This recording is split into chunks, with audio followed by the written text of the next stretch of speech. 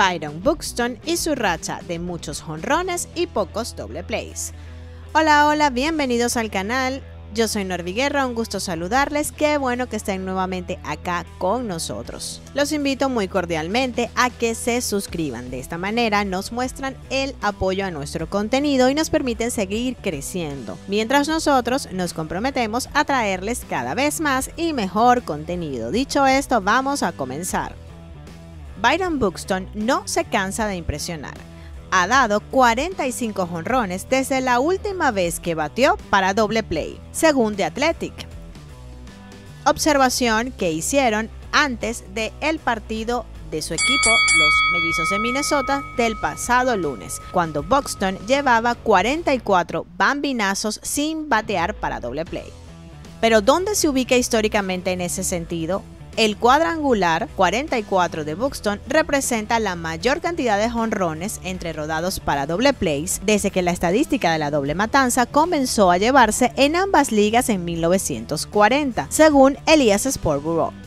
Rompió un empate con Matt Carpenter, quien empalmó 43 jonrones sin batazos para doble play entre el 9 de septiembre del 2017 y el 14 de abril del 2019. Pero nuevamente, Buxton no ha terminado su racha. Su último batazo para doble play fue el pasado, escuchen bien, 18 de agosto del 2020.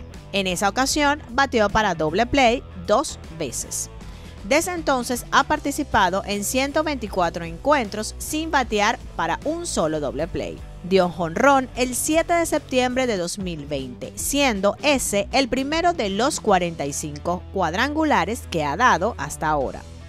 Ese dato parece hecho a la medida para Buxton, cuya velocidad lo ayuda a llegar quieto a la primera base ante los intentos de doble play, y cuyo poder pues le ayudan a facilitar las vuelas cercas.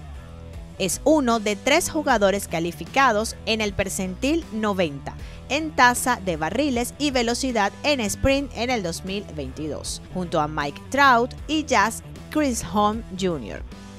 Buxton ha dado apenas 10 rodados para doble play en 539 partidos de por vida. Todo esto sirve para demostrar de lo que es capaz Buxton cuando está sano. Déjanos en los comentarios cuántos cuadrangulares más crees que podrá conectar Buxton antes de ver terminada su histórica racha.